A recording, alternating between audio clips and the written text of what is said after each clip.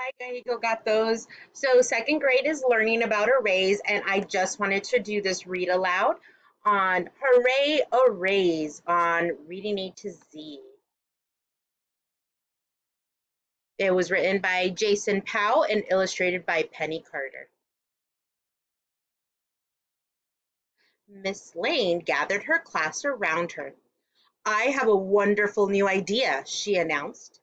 Today we will get ready for our class play. Each one of you will be stars in it. So your adoring fans in the audience must be able to see you. What is our play about? asked one of the students. I don't know yet, Mrs. Lane said. The important thing to remember is that the lights will shine on you. People will clap for you. You will all bow and bow again. Miss Lane smiled at all of her students. It's time to go to the auditorium, she said. We need to practice our bows. A student named Tanya spoke up. Can you tell us now what our play will be about? she asked. Let's just focus on practicing our bows for now, said Miss Lane. People are going to just love seeing all of you. They will clap loudly when you bow. Now we must practice, said Miss Lane. She began counting the students. There are 20 of you, she said. Please line up in two rows. I need the same number of children in each row. I'll show you a picture of how you should line up. There, uh, there you are in two rows, said Miss Lane. How many are in each row? We need equal numbers. A student named Ken spoke up. There are 10 of us in each row, he said. Two rows, 10 kids.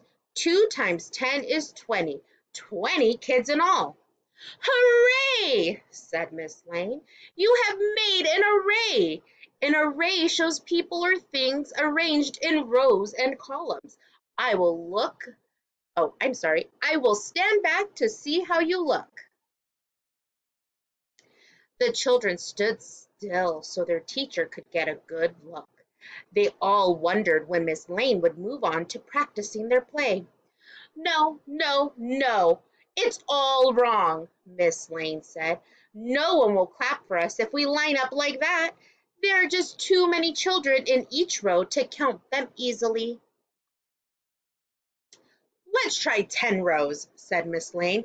I will make a picture to show you. Hooray! cried Miss Lane. Another array! But this one will never work.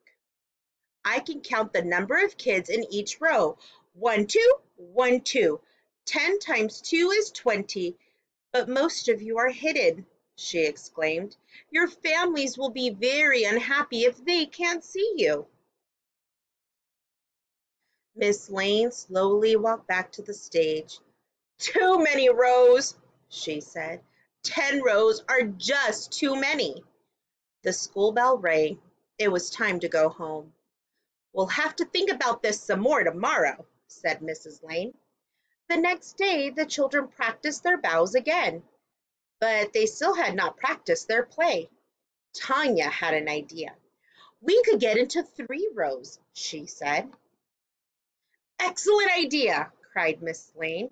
Hooray! Another array! Twenty children, three rows. I'll draw a picture to show you how to line up. The children lined up. Miss Lane said, Three rows, six children in each row. Three times six is 18.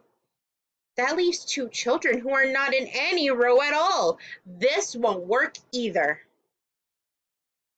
Ken said, Miss Lane, 20 students can't form three rows with an equal number in each row. Maybe the two extra students can just stand in the back of the three rows. No, that won't do at all, said Miss Lane. There are no extra students in my class. Every student is needed for our play. How about trying something else? asked Tanya. Miss Lane, could you stand in the middle of the first row, like this? She showed Miss Lane where to stand. The extra kids will join two and three, said Tanya. Please don't call them extra, said Miss Lane. There will be no one extra in our array. But now we have three rows with the same number of people in each row, said Tanya. Thank you for asking me to share the stage with you, said Miss Lane, but I can't steal my 20 students' moments in the spotlight. We'll have to think about this some more tomorrow, said Miss Lane. The next day, the children hoped they would get to practice their play, but once again, Miss Lane had them practice their bows. How about this? Ken said. We could try four rows. That would be five kids in each row. Five times four is 20. Miss Lane made a drawing. She said, Hooray! Another array! I will stand back to see how you will look to your families. The whole class got into place and practiced taking bows. It's easy to count you all, but I can't see the children in the back rows, Miss Lane said. Now the children were starting to worry. The play was just a couple of days away. They still had not practiced for it, and they didn't know how they would how they would bow. Nothing is working, they said.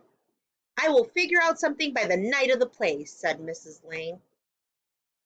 The night of the play arrived. The children quickly decided with Miss Lane that what they would do for the play. But Miss Lane still didn't know how they were going to line up for their bows. Then the curtain opened. The play was odd. It lasted only a few minutes. Miss Lane turned on some music, some children danced, some sang, some turned cartwheels. The class had spent most of the time planning their bows. They had spent no time planning for the play. When the music stopped, the children began to run off stage. The bright spotlight followed them. There was a long pause. Then the audience started clapping wildly. The children waited off stage, whispering to one another. The audience wants us to come out? Back out? One child said. Which array will Miss Lane choose for us? They asked one another. Miss Lane was standing on the stage. She was smiling at the parents and clapping loudly along with them. What is she waiting for? The children asked one another. Mrs. Lane walked off the stage towards her students. She said, Children, gather around. I have made a decision. I have a wonderful plan. All of the children leaned forward. They listened carefully to what Miss Lane said. Then they ran onto stage. Which array did Miss Lane choose? Hmm. Miss Lane took the microphone. Family, friends, she called out, let's thank our young stars once again. 20 stars, one long row of 20 lovely stars. 1 times 20 is 20. Miss Lane continued, You don't have to count them. They're all there. Can you see them all? Yes, you can, each and every one. Parents clapped. The whole crowd stood up. They shouted and cheered as the children took their bows. The twenty children bowed again and again. Twenty children, one row all together. The best array of all for, sorry, the best array of all for taking bows. The children asked Miss Lane to stand on the stage with them. They gave her flowers. They clapped for her. They said that she was the best bowing director they ever had. Hooray, arrays. I hope you loved this reading. I enjoyed reading it. I made a couple mistakes, but that's the joy of reading. Just go back and repeat. Um, this is Ms. Vera, and I hope you love the book, Hooray, Arrays. I know my kids did when I read it to them the first time. See you later, guys.